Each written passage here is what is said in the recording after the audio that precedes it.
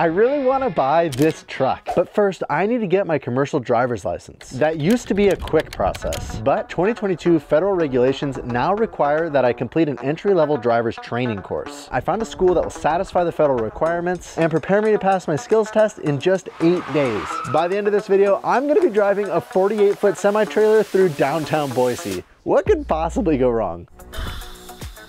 I ended up failing that test. Oops. Okay, well, I kind of messed that one up. Before I can start my behind the wheel training, I need to complete a 10 hour online course. This course covers things like air brakes, vehicle inspections, and the principles behind safe driving. I was very bored. Seven modules down, five to go. But it was a great excuse to drink lots of coffee and spend some time with Oliver. Now it's time to head down to my local driver's license office to take the written test. Wish me luck.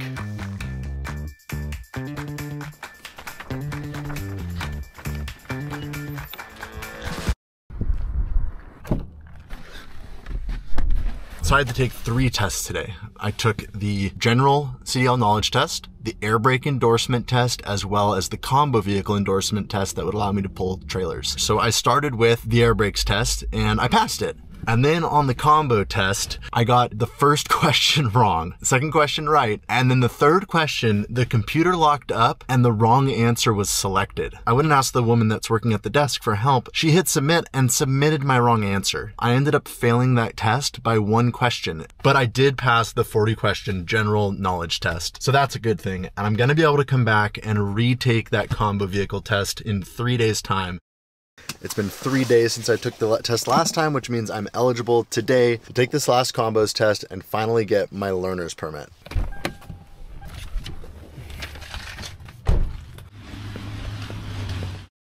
and I officially passed, which means I now have my Class A learner's permit and I can start driving real trucks. That means that 14 days starts today. I have 14 days until I can take the behind the wheel driving test and get my official Class A driver's license. It turns out getting a CDL requires a lot of tests, and this next test for me is a drug test. All right, drug test complete, which means the last thing on my list is to get my physical done. And then I'm ready to drive a truck. We loaded up and headed 400 miles south to Boise, Idaho.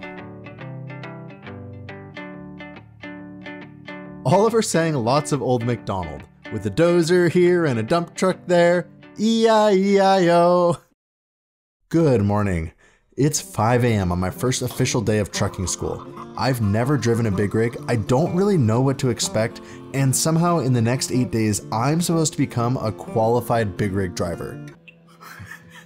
in 15 minutes, I have a taxi schedule that's gonna pick me up and it's gonna take me to some dirt lot across town where I'm gonna meet a stranger and get in a truck with him for the day. My taxi driver didn't question the fact that he was dropping me off at an abandoned quarry. Honk truck. I wandered down the hill and hoped I was in the right place. I see a bunch of trucks down here, so I think I'm in the right spot. I've been putting off getting my CDL for a long time just because I kept hearing about how much of a pain it was and that you have to go to school and all these different things. But for the trucks that I want to be able to drive, it's pretty important that I have a CDL. So here I am. This video is not sponsored by Idaho CDL. They did agree to allow me to film, which was extremely nice of them. Riley. Riley, Scott. Scott, nice to meet you. I met two guys named Scott. Maybe there's candy in that container. And hopefully coffee.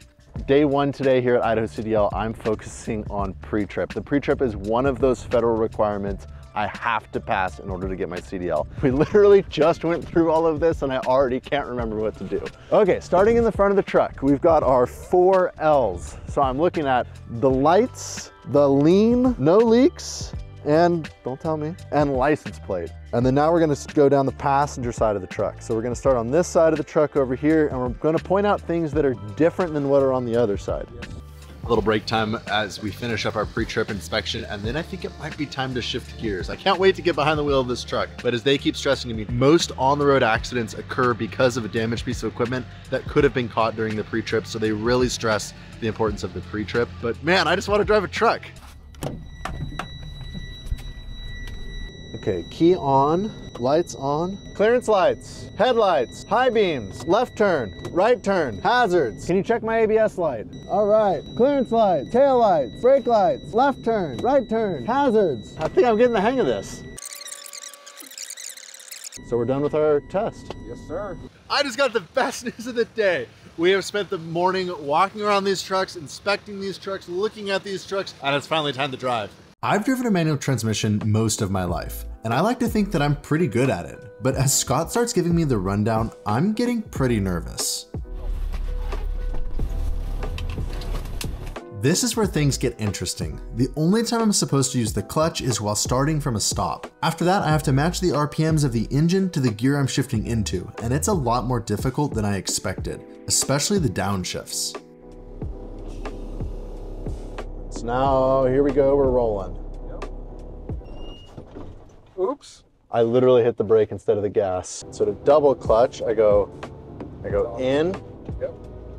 out of gear, in again. There's second. Yep.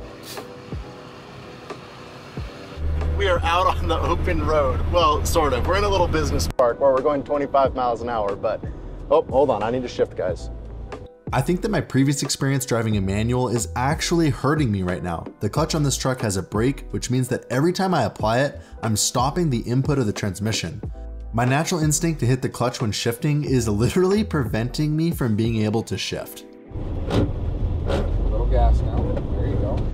Oh man, it's crazy how fast it feels like you're going in this truck. Like, I felt like I was going 90 miles an hour, and I glanced down and we're going 19. We're gonna start working on backing the truck up. Wish me luck. And back all the way up until my bumper clears the cones. All right, first test complete. The truck turns sharper than my F-350. The trailer does not. The trailer feels like it is way back there. I can't imagine what towing like a 53 foot would feel like.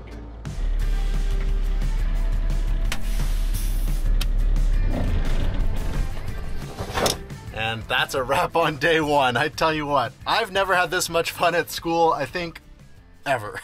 I was a busy kid. I loved building things, taking things apart, and sometimes putting things back together. What you making? That's where my lifetime passion for building started, and it's something that I'd like to share with Oliver. But he's probably not quite old enough yet for me to hand him the hacksaw. Luckily, a friend told us about KiwiCo and they are the sponsor of today's video. The KiwiCo Panda Crate is a subscription line designed for children 0 to 36 months. Each crate contains two months worth of activities that encourage Oliver to discover and play with purpose. The research-backed toys and activities engage all five senses, which help lay a foundation for future learning and exploration. We selected the Panda Crate Plus, but they also offer a pared down essentials box or the deluxe box, which comes with a book. The Wonder Play Guide helps me understand Oliver's brain development and outlines different ways that Oliver can play with the toys as he grows. It was a long drive to Boise, but the counting cards helped keep Oliver busy for the entire drive. If you want to share a passion for learning new things with your child or a grandchild, consider sending them a Panda Crate from KiwiCo. And use the code AMBITION for 20% off your first crate. And for the older kids in your life, or maybe yourself, make sure to check out their complete lineup of crates. You got my mic, buddy.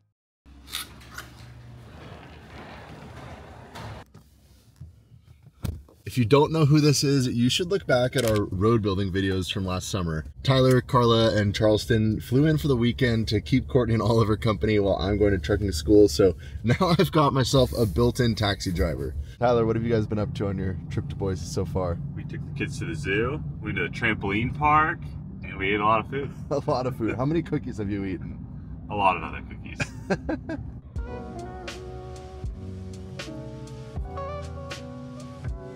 All right, Mr. Uber driver, thanks for the ride. We'll see you later.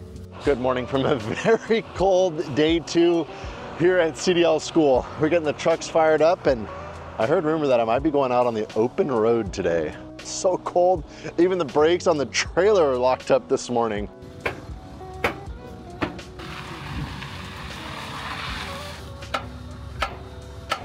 There we go. So we're gonna go practice shifting. I'm about to go drive this truck out on the open road with cars and traffic. Two hands. It's crazy how just the simplest things I forget, like two hands on the wheel. I didn't think I was a bad driver, but driving with an instructor has me realizing how many bad habits I've developed over the years.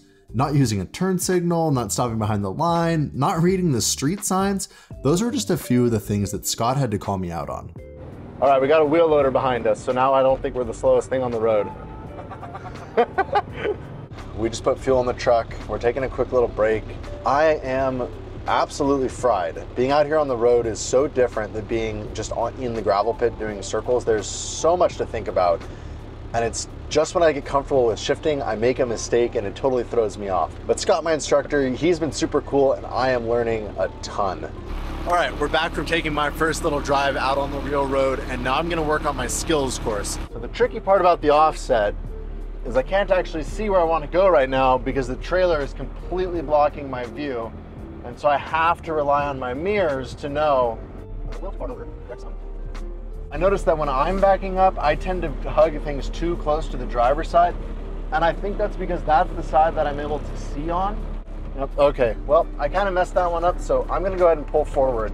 I'm allowed to do two corrections. I'm allowed to pull up twice without any penalty. Now I just need to back into this one until my front bumper clears the blue barrel. That's the backing skills test. I'm taking a little walk, waiting for Courtney and Oliver to come get me. It's a beautiful sunny day, and we'll see you tomorrow. You ready to go, Charleston? Yeah. Buddy, you can't see. You ready to try it again? I wanna hit rewind. Scorpion pepper. I dare you. I remember what happened last time. That one? Avocados? Yeah, you must be from California. Charleston, what'd they get you? How many apples do you have, Charleston? One, two. Good morning here from Idaho CDL. It is day three here, and today I have a new instructor. So every two days they switch instructors. That way, students like me can get a new perspective from a different instructor. My instructor today is named Kelly, and uh, I have a feeling I'm going to learn a lot from him. I'm still having a hard time with my shifting, especially downshifting. Kelly introduced me to a technique called left foot braking, where I literally use my left foot on the brake and right foot on the gas. This allows me to continue slowing the truck down during the shift with my left foot while still being able to bring the engine RPM up with my right foot. I doubt it's a method I'm going to use all the time, but it's great to have another trick up my sleeve. Bring the RPMs down, pop it out of gear, bring the RPMs up. All right, guys, I'm at my first truck stop in a truck. We're here just learning some of the basics of getting fuel, truck etiquette, how a truck stop works. On our way here, we passed a weigh scale and I got to see everything about how the weigh scale works, how the weigh in motion works, when to get over, what the signals mean. Oh, the sun feels so good. Around the truck and uh, just giving it a once over and I heard a little air leak. Right there. This valve is just a little bit open. All right, we made it back to the yard. Kelly and I spent the entire day today out driving. I don't know, we must have drove two or 300 miles, it felt like. It was a great day today, and I think that's uh, pretty much a wrap for day three, so we'll see you tomorrow for day four. Tyler, what's for dinner? Cookies. Dinner of champions. Keep it Ollie. Keep it Ollie. Hey.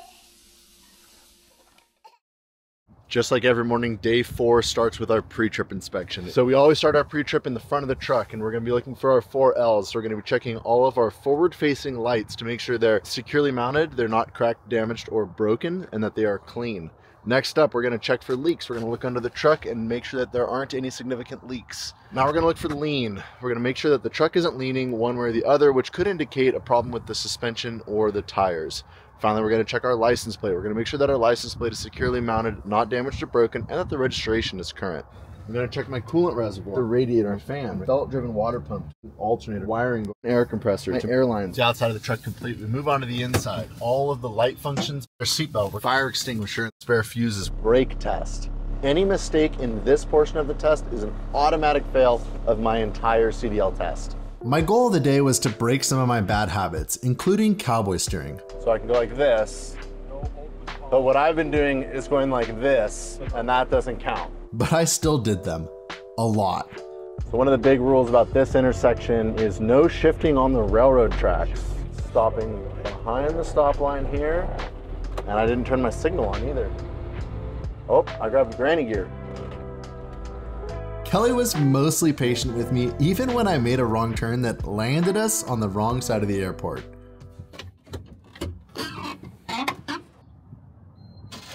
Another fuel stop, which means that I have officially put an entire tank of fuel through this truck so far during my training. We have been out driving on the city streets all day. It has been, I think, five hours now of nothing but stop and go and traffic lights. I am absolutely exhausted. It just takes so much mental concentration to pay attention to the truck and shifting gears and the traffic and the stoplights. Yeah, I'm good. That's it for day four here at Idaho CDL, which means that I am officially now halfway done with my training. We'll see you again tomorrow. I'm home from school for the day, so Oliver and I are going to go on a little bike ride while Courtney eats ice cream. Bye, Courtney! Taking Oliver for a bike ride was an opportunity for me to reflect. I feel so fortunate to get to spend this time with my family, doing something new and exciting. None of this would be possible without you. Thank you so much for watching our videos.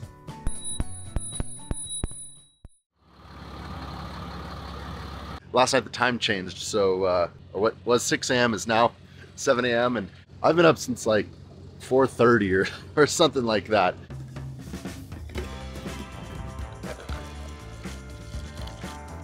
Today I'm training the new instructor Claim, and my job is to make lots of mistakes so that he can correct them. Luckily, I'm pretty good at making mistakes. Today is all about learning braking and speed control. We're going up and over this steep mountain pass here north of Boise. So we're doing what's called stab braking, hitting the brakes, slowing five miles an hour down below our target speed, and then releasing the brakes. That way they have time to cool and they don't build heat. If we were just to hold the brakes the entire time, they would just continue to get hotter and hotter and be less and less effective. My struggles with shifting have me nervous about driving this grade. It's a huge confidence booster when things are actually going well. Maybe I'm starting to get the hang of this. I even scored a few compliments. Any dozers for sale?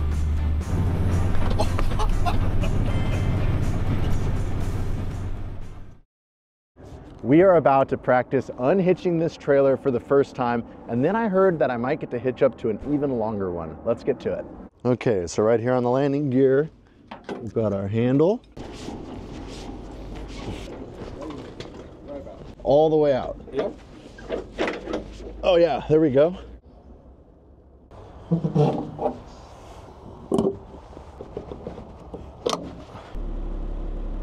How are we looking?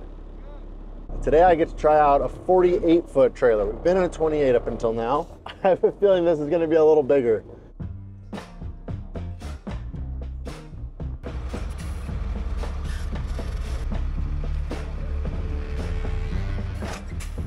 That is way easier to hitch up than my pickup.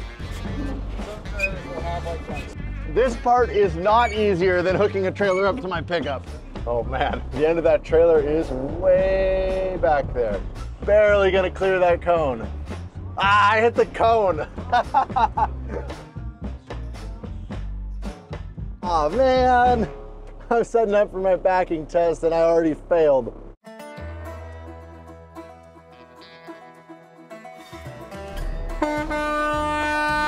I did it! I'm starting to wonder if I'm ready for this long of a trailer. Oh, but my trailer was still on the tracks because it's so long. But Scott must really trust me because we head straight to downtown in rush hour. Here we are, we're, we're downtown in a 48 foot trailer. Oh boy, this is terrifying. Here we go, into the roundabout. We're gonna take it as wide as we can here.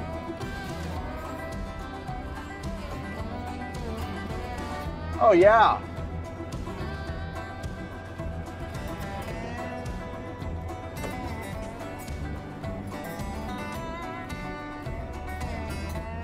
Okay, we're back in the yard, and my last challenge here is gonna be to put this trailer back where I got it from next to the other ones. Let's see. That was awesome. What a great opportunity for me to be able to hook up to this big, like actual full-size trailer and then take it out on the actual roads. That was awesome. That's it for day six here at Idaho CDL. We'll see you tomorrow. Good morning on my final day here at CDL school. I'm training this morning, I'm testing this afternoon, and if all goes as planned, by tomorrow morning, I will be a licensed commercial driver. And today, I'm gonna try driving a different truck. I can figure out where the key goes. Does this truck have cruise control? I believe so. What? Dude, it's got a locking rear differential. And a Jake brake? Oh, this truck is awesome. Jumped out of the truck, hitched up the trailer, went to go jump back in the truck, and I locked this out. Okay, good. Woo! All right, with all the fancy air ride features of this truck, Scott has promised me that my coffee will not spill without a lid. Here we go.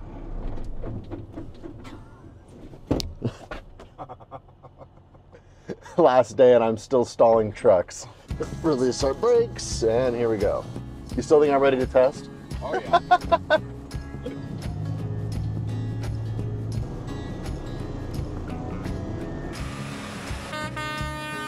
I was having a lot of fun driving a different truck, but I'm starting to get anxious about my exam.